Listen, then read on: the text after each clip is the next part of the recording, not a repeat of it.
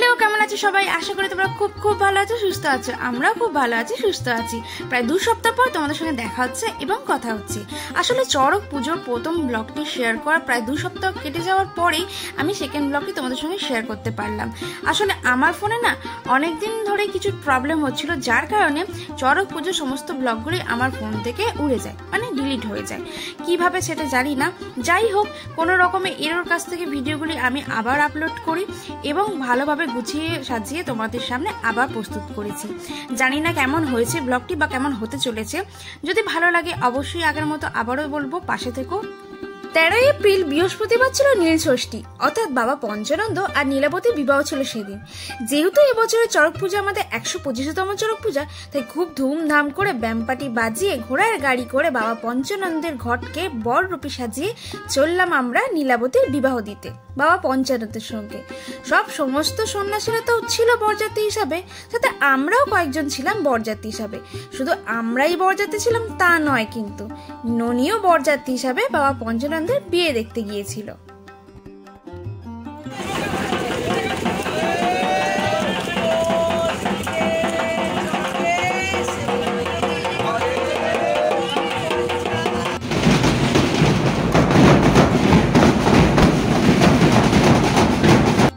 বাবা পঞ্চানন্দ আর ননিকে সাথে নিয়ে অনেকটা পথ অতিক্রম করেই আমরা পৌঁছালাম নীলাবতীর বাড়িতে।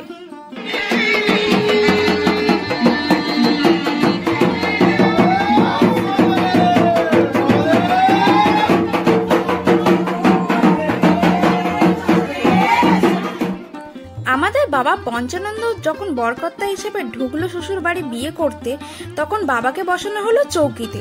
বাবার জন্য সাজসজ্জা চলছিলই ঠিকই, তবে ক্যামেরাম্যানও ওদিক থেকে টপার টপ বেশ কয়েকটা ছবি তুলে নিল বাবা পঞ্চানন্দের। বিবাহের পূর্বে যেমন ছাদনাতলায় দাঁড়িয়ে বরকনেকে একসঙ্গে বরণ করে নেওয়া হয়, এখানেও ঠিক তাই করে নেওয়া হচ্ছে। বাবা পঞ্চানন্দের সঙ্গে মা নীলাবতীকেও বরণ করে নেওয়া হলো প্রথমে। ওদিকে বরণ পর্ব সেরে এদিকে পূজা পাঠ চলল বেশ কিছুক্ষণ ধরে। পূজা পাঠ শেষ করার পরই কন্যা সম্পাদন করে শুরু হয়ে গেল যজ্ঞের কাজ। যজ্ঞ শেষ করার পরই সিঁদুরদান। ব্যাস, অমনি হয়ে গেল বাবা পঞ্চানন্দ আর মা নীলাবতীর বিবাহ সুসম্পন্ন। সমস্ত সন্ন্যাসী সহ আমরা যেহেতু ছিলাম সেদিনকে বরযাত্রী হিসাবে, তাই আমাদের জন্য বিয়ে বাড়ি কিছু মহাভোজ আয়োজন করা হয়েছিল। ওই একটা ফয়েল পেপারে মিষ্টি মিষ্টি পোলাও, সাথে আলুর দম আর বোদে। এই ছিল আমাদের বিয়ে বাড়ির মহাভোজ।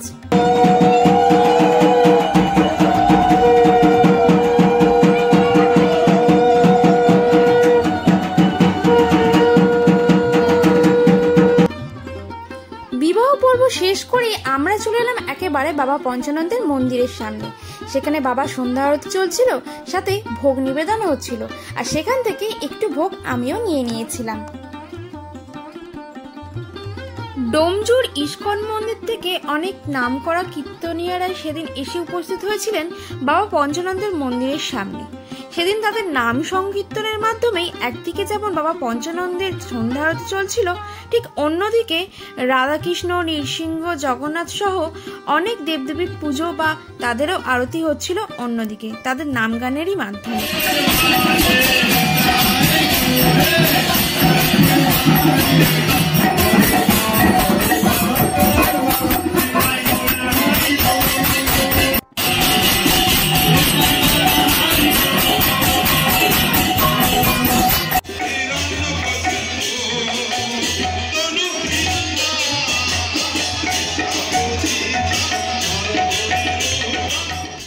সত্যি এই নাম সংকীর্তনের মাধ্যমেই সেদিনকে পরিবেশটা দারুণ মনোরম হয়ে উঠেছিল সত্যি বলতে কি এমন কেউ ছিল না যারা দু হাত তুলে জয়নিতাই বলে নাচেনি সত্যি বলতে সেদিনকে আমিও দু হাত তুলে দারুণ মন করে নেচেছিলাম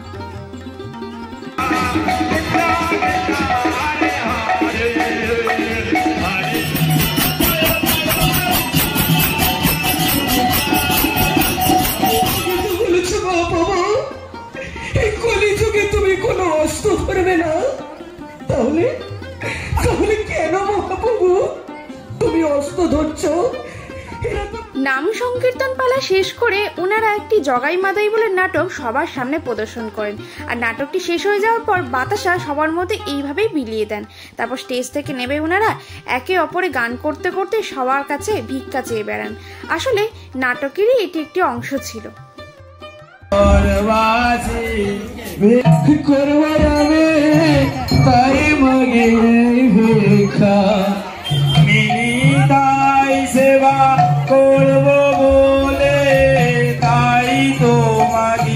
সমস্ত অনুষ্ঠান শেষ হয়ে যাওয়ার পর খিচুড়ি সবার মধ্যে শালপাতা করে বিলি করে দেওয়া হচ্ছিল। তাহলে আজকের মতো ভিডিওটি এখানেই আমাকে শেষ করতে হচ্ছে। পরবর্তী ভিডিও, অর্থাৎ চড়ক পুজোর শেষ এবং তৃতীয় ভিডিও খুব তাড়াতাড়ি তোমাদের সামনে চলে আসবে। কথা দিলাম, আর দেরি হবে না। প্রতিবারের মতো এবারও বলব, ভিডিওটি যদি ভালো লাগে, চ্যানেলটি অবশ্যই সাবস্ক্রাইব করে আমার পাশে থেকো। ভালো থেকো, সুস্থ থেকো। জয় জগন্নাথ।